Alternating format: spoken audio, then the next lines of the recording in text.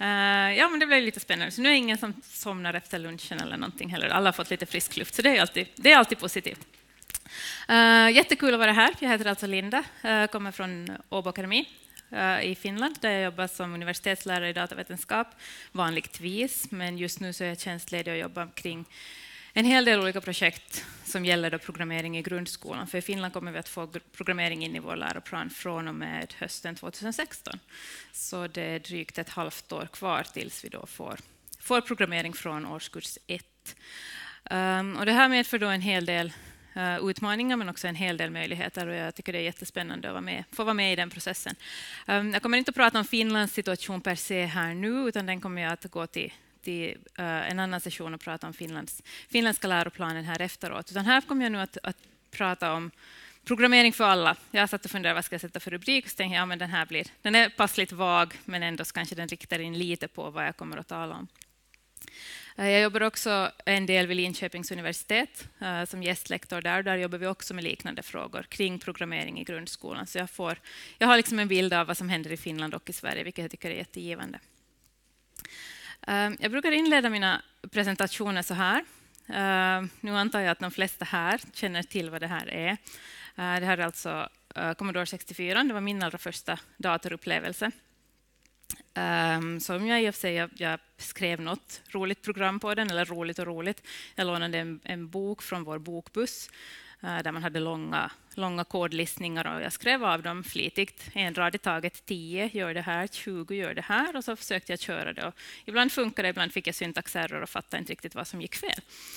För jag hade bara skrivit av. Likväl kunde felet ha varit i den kod jag skrev av som i min kod, eller hur? Så jag blev ingen programmerare på den tiden. Jag förstod nog egentligen inte heller vad jag gjorde där. Så jag höll mig mest till det här, eh, det vill säga Giana Sisters, som ni kanske känner igen. Eh, uh, visar man det här för barn nu så ser de Super Mario Bros. Och då tycker de det är jättespännande när man får säga att ja, men det här drogs faktiskt bort från marknaden för att det visade sig vara ett plagiat på Super Mario Bros. Um, och visar man det här för barn så tycker så tycker de att man har växt upp på stenåldern eller någonting. Vad, vad är det här? Liksom när jag säger att ja, men här är mitt spel, titta, jättefint. Flappy Bird-grafik och så en sån här antik grej som man gör någonting med för att ladda sitt spel. Så visar jag den här för barn så blir de ännu mer konfunderade. Alltså, hur gammal är du riktigt? Um, och då förklarar jag, men då på den tiden så jag tog mitt spel, den här kassett, det här kassettbandet, satte in det i min, i min eh, bandspelare spola tillbaks, tryckte på play efter att jag hade skrivit någonting, typ pil L eller load på, i, min, den här, um, i prompten. Och sen så väntade jag. Och jag väntade. Jag gick och tvättade mina tänder. Under tiden fick man se den här bilden. kommer ni säkert också ihåg. Uh, och det här faxljudet, ni vet, sen gräslig bakgrundsmusik. Uh, så man gjorde gärna något annat medan spelet laddade. Förhoppningsvis gick, gick allting väl och när man kom till en viss siffra, alltså när den här räknaren hade gått upp till ett givet tal, så hade man sitt spel på skärmen och man fick börja spela då, Giana Sisters. Men om det visade sig att den här räknaren gick upp över den, uh, det tal som den skulle landa på, så Giana Sisters skulle kanske ladda till 59 eller någonting. Så om den laddade till 60, 61, 62, så det var liksom ingen point att vänta längre. Man kunde inte vänta in det, utan då var det bara att spola tillbaka och göra om hela processen från början igen. Och igen se den här gräsliga bilden. Vad har det här med programmering för alla att göra? Ehm, då när jag skulle spela mitt spel, jag och min bror, så vi gjorde ett medvetet val hela tiden. Vi bestämde oss för att nu går vi in i mammas och pappas sovrum där vår dator fanns. Vi startade allting, vi gick igenom alla de här olika delarna av att ladda upp spelet. Sen satte vi oss ner och spelade. Och vi gjorde ett medvetet val när vi använde det här. Vi gick in för att ja, men nu, nu tar vi oss den här tiden och gör de här grejerna. Eh, medan situationen idag är ju någonting helt annat. Hur många av er tänker lika medvetet på det när ni tar fram er telefon och gör någonting på Twitter eller på Instagram eller kollar nyheterna på SVT eller liknande? Det är ju en precis lika naturlig del av vår vardag idag som det var att läsa morgontidningen för mina föräldrar när jag växte upp. Och det är, ju, det är inget konstigt med det. Internet har växt växt. Det kommer nya appar hela tiden. Vi får nya förslag. Jag fick en, ett förslag om en ny yogaapp av min kollega när jag hälsade på henne här förra veckan. Och man, man testar nya grejer, men man funderar aldrig medvetet på att vad är det här egentligen? Så om man tänker på hur världen ser ut och hur det såg ut, just om man tänker på utbildnings, utbildningsmässigt, så jag har en fyraårig son hemma och för honom så är det nu, vi, vi diskuterar väldigt mycket det här med att hur kan vi hållas upprätt? För han har insett, han har lärt sig att jorden är rund och rund, det är en boll. Och dessutom har han förstått att den här bollen snurrar. Om han sätter något, om han håller en boll i sin hand och så sätter han en legogubbe på den och så svänger han på, på bollen. Vad händer med legogubben? Den faller av. Så varför händer, var, varför, varför händer inte det här liksom för oss? Och det finns vissa samband, det finns naturlagar, det finns, vi, vi har lärt oss de här i skolan. Vi har fått veta att det finns en dragningskraft som gör att vi inte faller av jorden. Vi har fått lära oss att varför vattnet fryser när det blir tillräckligt kallt och så vidare. Så det finns vissa saker kring, eller en hel del kring den här fysiska världen som vi får lära oss från att vi är ganska små. Men nu, förutom att vi nu lever i den här fysiska världen så har vi också den här digitala omvärlden runt omkring oss. Alla de här systemen som vi använder som en väldigt naturlig del av vår vardag. Men ingen berättar egentligen åt oss vad de här baserar sig på. Vi får de här apparna, vi får våra system, vi jobbar med dem, men vi vet egentligen inte vad är det egentligen som ligger bakom. Och om man inte vet vad, något, vad som ligger bakom någonting så känns det ju som magi, eller hur? Om, om man inte har någon aning om att, så känns det ju bara som att det, det faller ner från skyn. Ja, men nu har Spotify släppt en ny feature i, i, i, sitt, i sin uh, Android-app till exempel. Men det är ju absolut ingen magi. Utan den digitala omvärlden så den följer ju precis likadana samband, lika mycket regler som den fysiska omvärlden. Och det här är ju sånt som vi kan öppna upp. Det är sånt som vi kan lyfta i skolan, det är sånt som vi kan diskutera i skolan med barnen. Förstås på en, på en nivå som lämpar sig för de åldrar som vi har att göra med. Men det är ingenting som vi behöver gömma undan. Så när, jag, när vi pratar om det här programmering för alla så skulle jag vilja säga att den första viktiga delen av den så är den här allmänbildande aspekten. Att det helt enkelt den här programmeringen, digital kompetens, vad man vill kalla det, så är helt enkelt en väldigt viktig del av den allmänbildning som vi ger våra barn idag och framöver. Som sagt kommer nu då det här in i, i läroplanen i Finland och då får man en del, en del är väldigt, väldigt in, inspirerade av att ja, men visst, det här är jättebra, det är klart det är en del av allmänbildningen, det här ska vi jobba för. Men så hör man också de här kom kommentarerna på riktigt. Alltså seriöst, du kan ju inte vara klok, du kan ju inte mena allvar med att vi ska före barn ens klarar av sitt eget modersmål så ska de kunna tolka och skriva det här. Och det är ju absolut inte det som är meningen heller, utan programmeringen är ju faktiskt mycket mer än själva kodningen. Och det är det här som man behöver också få in, och vi har börjat få in också allt mer i diskussionen i Finland, att det är inte bara det där att man sätter sig i ett hörn och skriver kod, utan det är så mycket annat som hör till också. Så vi har problemlösning, design, analys, det här skapande inverkan, kreativitet, logiskt tänkande, kritiskt tänkande, samarbetsaspekter. Det är mycket, mycket mer än bara kod. European Schoolnet så har gjort en rapport, det här är andra året som de har gett ut, den heter Computing Our Future, Computer Programming and Coding. Och I den så har de diskuterat med undervisnings eller utbildningsministrar i ett flertal EU-länder. I fjol var det 20 länder, i år 21. Sverige är inte ett av de länderna. Men här de, i den här eh, undersökningen så har de försökt ta reda på att hur tänker man inom olika länder kring programmering. Vem jobbar med det den i läroplanen, vem jobbar inte med det och varför har man, de som har valt att jobba med programmering i läroplanen, varför har man valt det?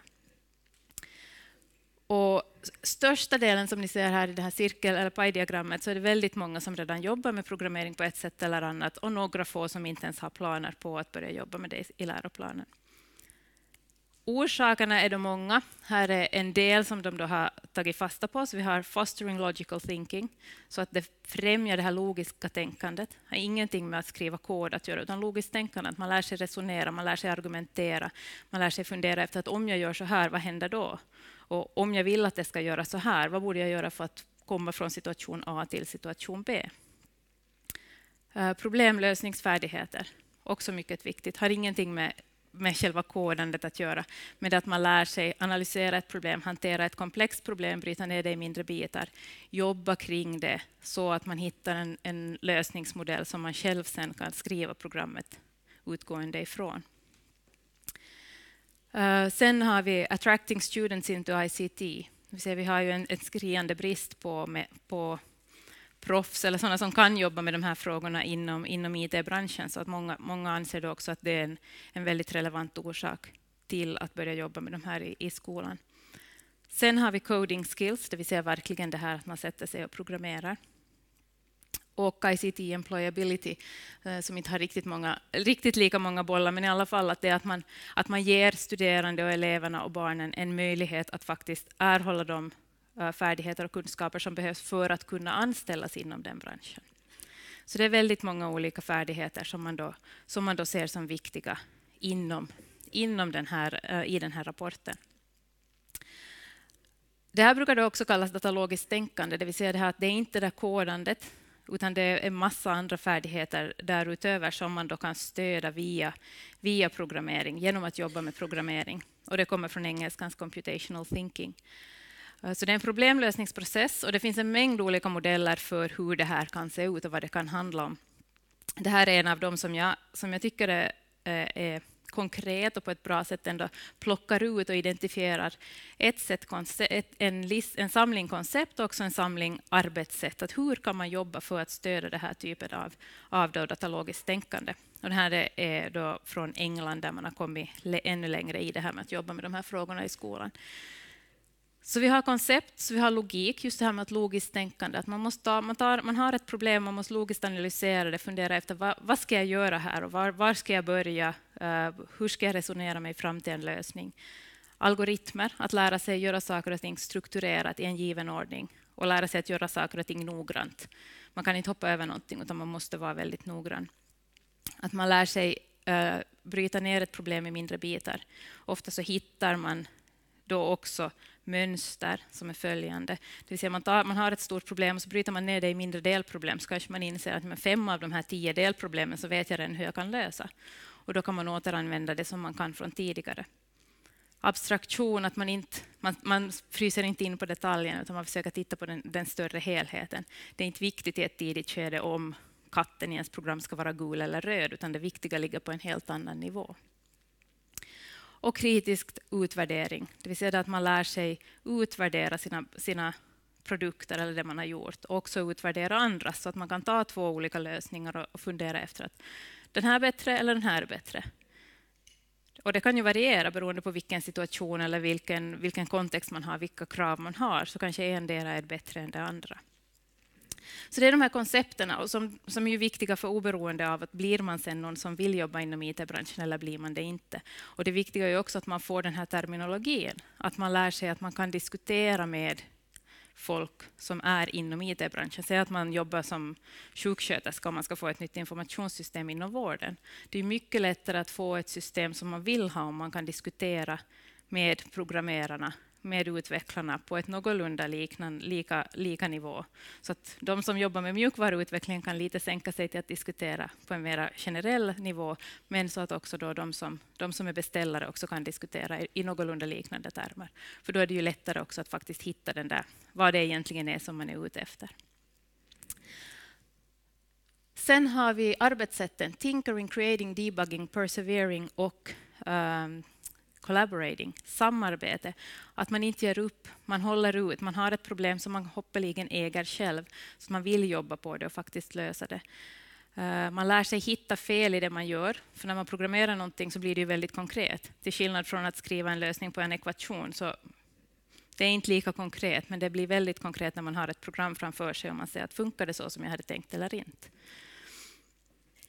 Creating, att man skapar, man får skapa någonting eget. Det är ofta så att man har öppna problem, man jobbar med öppna problem där alla kan skapa sin egen, egen lösning. Vilket då också främjar den här kreativiteten. Och så tinkering, som vi har ett jättebra ord för på finlandssvenska, som heter pynjande. Uh, ingen, när jag talar i Sverige om pynjande, så vet vad de... de har ingen aning om vad jag talar om. Mm, vi har, vad var det? Jag tror att klura var ett ord som vi har kommit överens om, att det är ungefär lite ditåt. Men att pröva sig fram, jobba lite, testa. Jag tror jag hoppar över några slides för att vi tar igen brand, brandlarms, brandlarmstiden som vi förlorade där. Um, här är ett exempel på hur man kan till exempel generalisera och hitta mönster samtidigt. Så det här är nu skrivet i ett program som heter Scratch, som ofta används med barn. Uh, och här har vi nu, vi sätter pennan ner, så går man 100 steg, svänger 90 grader, 100 steg, svänger 90 grader och upprepar det fyra gånger. Men vi har skrivit ner det fyra gånger i rad. Och det är det som det här gör, så det är det enklaste sättet att beskriva en, eller det första sättet man kanske kommer på när man vill beskriva att man ska rita en kvadrat. Ganska snart så märker vi att det här är inte, om vi nu vill ändra till exempel till att den ska gå tusen steg, så inser vi att vi måste gå in och ändra på fyra ställen för att få den att faktiskt göra det. Ju fler ställen vi behöver ändra på, desto större är risken också att vi gör någonting fel. Så då introducerar vi ett nytt block. Vi hittar ett mönster här och vi abstraherar så att vi konstaterar att det här är samma sak som att vi gör det här, de här två blocken fyra gånger. En helt vanlig loop som vi introducerar. Sen märker vi att vi kanske från en sån här så kan vi också... Det är ju inte alltid vi vill rita en kvadrat. Vi kanske vill rita en femhörning, en sexhörning, en triangel. Men då är det ju, det är ju hörnen som skiljer sig åt. Då. Och då skiljer sig också vinkeln vi ska svänga sig åt. Så då kanske vi börjar med att, att märka att, okay, att vi ska alltid svänga 360 dividerat med antalet hörn. Och då kan vi göra en ny variant som då är faktiskt är helt generaliserad, där vi kan jobba... Vi låter användaren svara hur många sidor vill du, vill du att den här månghörningen ska ha. Och sen så, skriver, så går du den här katten så många, 100 steg och svänger 360 dividerat med antalet sidor. Och så kan vi då rita en femhörning och en, tre, en triangel och så vidare. Målsättningarna med det här datalogiska tänkandet så är då att man blir van att hantera komplexitet. Det, är inte, det här är inte liksom tanken att man ska ta väldigt enkla problem, att man börjar där då abstrahera och generalisera och bryta ner i mindre bitar, utan ett plus ett är fortsättningsvis två. Det är ingen point med att i ett sådant problem börja, börja jobba med de här frågorna. Men när man har komplexa problem, man, man vet inte alltid vad som gäller, man kanske inte alltid har all information som behövs. Så då blir man tvungen att börja fundera efter att, okay, att hittar jag ett gränsvärde. Om jag har en textuppgift i matematik till exempel. Um, det var det värsta jag visste som liten. När man, antingen så hade läraren gett för mycket information, så man visste inte vad man skulle göra med den sista variabeln, eller att läraren ännu värre hade lämnat, utelämnat någon information. Då kan jag, jag kan ju inte lösa ett problem om jag inte vet exakt vilka värden som ska in i alla delar i formeln. Men med programmering så kan jag säga att ja, men det här är en variabel och så testar vi. Vi, kör, vi låter y få värdet från minus 100 till plus 100 och så kollar vi, finns det en gräns där, där situationen mitt i alltihop ändras? Och då kan vi diskutera att vad, vad, är det för, vad, vad gäller för värdena under minus 3 och vad gäller för värdena över minus 3? Att man klarar av de här öppna problemställningarna, tvetydigheten och att man då kan kommunicera och samarbeta med andra för att, lö, för att då komma fram till en gemensam lösning. Och A och O här så är det de här intressanta problemen. Att man har välplanerade frågeställningar. För om man ger en väldigt svart på vit uppgift till studerande så då får man ju också väldigt svartvita svar som inte på något vis heller äh, motiverar till att kreativa lösningar. Så det var den andra delen, det här datalogiska tänkandet. Och sen den sista delen som då representeras av den här bilden. Vad tror ni att jag har gjort en Google Image Search på här? Mm, programmer. Vad är väldigt representativt för de här bilderna som kommer fram om man gör en Google Image Search på programmer? Alla är män. Eh, de flesta är dessutom vita män, tror jag. Där är någon, någon mörkhyad. Men det är väldigt mycket vita, vita män här. Och det, det har ju kommit fram, det kom också fram uh, här tidigare när jag var i den här uh, Skala blir programmerare-sessionen, um, att det är ju det att vi har män, så det, det, betyder absolut inte att vi får dåliga program. Det handlar ingenting om kvalitet. Män skriver bra program, män skriver dåliga program. Kvinnor skriver dåliga program, kvinnor skriver bra program. Alla etniciteter gör precis på samma sätt. Så det är ingenting som säger att vi måste få in en given etnicitet eller ett givet kön för att få en bättre kvalitet. Utan det handlar ju mer om det att få in mångfald. För om vi har en väldigt homogen grupp som skapar systemen så ifrågasätts ju saker mycket mindre. För alla har samma bakgrund. Alla kommer från samma perspektiv. Det finns ingenting att diskutera. Det är klart att vi gör det på det här viset. Men i en värld där de här systemen spelar en allt större roll så är det ju väldigt, väldigt viktigt att alla perspektiv får, får ta plats, får höras. Att man tar liksom in de perspektiven i de system som byggs. Och det finns ju ingenting som säger att kvinnor inte ska bli programmerare.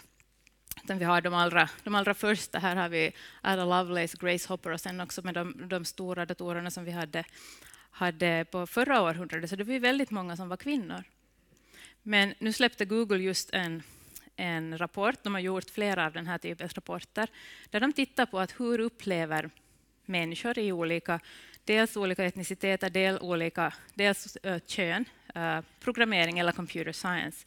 Och här är nu att när de frågar då att ja, men hur ofta har ni sett, det här är ett sätt att se på ro, förebilder, rollmodeller, att hur ofta har ni sett människor som jobbar med computer science, datavetenskap, i filmer eller tv som är vita, så det är 58 procent av alla svarare med glasögon. Glasögon tydligen också.